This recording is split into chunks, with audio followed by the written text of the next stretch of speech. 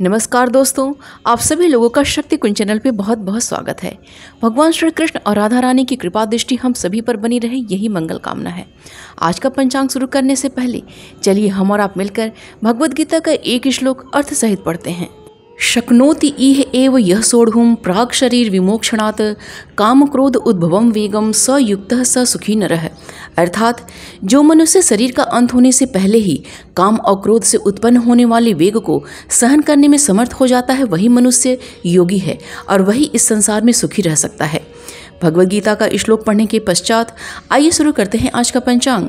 आज 15 अक्टूबर 2023 दिन रविवार है। आज का सूर्योदय सुबह पाँच बज के छप्पन मिनट पे और चंद्रोदय सुबह में छः बज के चौदह मिनट पे है।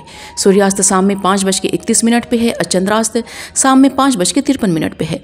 मास आश्विन मास है, तिथि प्रतिपदा तिथि है जो कि रात्रि में बारह बज के बत्तीस मिनट तक है, उसके पश्चात द्वितीय तिथि प्रारंभ हो जाएगी। योग वैद्यति योग है जो कि सुबह में दस बज के पच्चीस मिनट तक है, उसके पश्चात विश्वकम्भ योग प्रारंभ हो जाएगा। नक्षत्र चित्रा नक्षत्र है जो कि शाम में छः बज के तेरह मिनट तक है। उसके पश्चात स्वाति नक्षत्र प्रारंभ हो जाएगा। कर्ण की स्तुग्न कर्ण है जो कि दोपहर में बारह बज के एक मिनट तक है। उसके पश्चात बब कर्ण प्रारंभ हो जाएगा जो कि रात्रि में बारह बज के बत्तीस मिनट तक है। उसके पश्चात बालो कर्ण प्रारंभ हो जाएगा। वार रविवार है, पक्ष शुक्ल पक्ष है। चंद्र राशि तुला है, सूर्य राशि कन्या है और सूर्य नक्षत्र चित्रा है। ऋतु वर्षा ऋतु है और अयन दक्षिणायन है। शक सम्मत उन्नीस सौ पैंतालीस, शोभाकृत, विक्रम सम्मत दो हज़ार अस्सी, नल। आइए आज के शुभ समय के बारे में जानते हैं।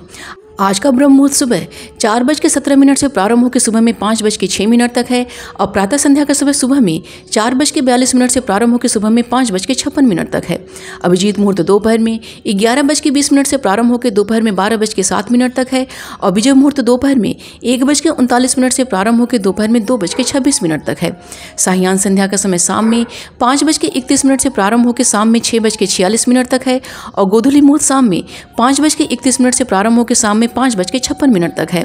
अमृत काल का समय दोपहर में ग्यारह बज के बीस मिनट से प्रारंभ होकर दोपहर में एक बज के तीन मिनट तक है।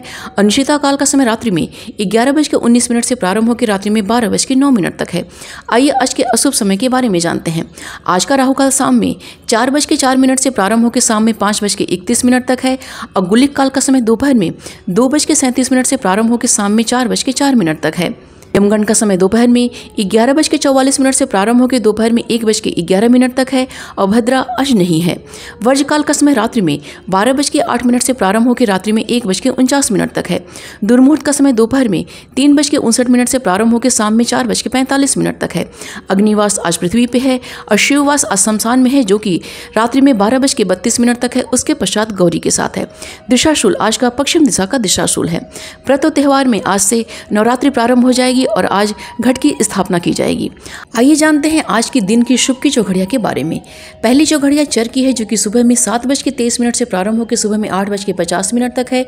उसके पश्चात लाभ की चौघड़िया है, जो कि सुबह में आठ बज के पचास मिनट से प्रारंभ होकर सुबह में दस बज के सत्रह मिनट तक है। उसके पश्चात अमृत की चौघड़िया है, जो कि सुबह में दस बज के सत्रह मिनट से प्रारंभ होकर दोपहर में ग्यारह बज के चौवालीस मिनट तक है। यह वार वेला है। उसके पश्चात शुभ की चौघड़िया है, जो कि दोपहर में एक बज के ग्यारह मिनट से प्रारंभ होकर दोपहर में दो बज के सैंतीस मिनट तक है। तो ये थी आज के पंचांग की संपूर्ण व विस्तृत जानकारी। उम्मीद करती हूँ दोस्तों, आज का वीडियो आप सभी के लिए बहुत ही उपयोगी साबित होगा। वीडियो पसंद आए तो प्लीज़ इसे लाइक कीजिए, शेयर कीजिए अपने दोस्तों और रिश्तेदारों के संग। और चैनल को सब्सक्राइब कर लीजिए और नोटिफिकेशन का बिल ज़रूर ऑन कीजिएगा। मिलते हैं अगले वीडियो में। अपना और अपनों का ख्याल रखिएगा। नमस्कार।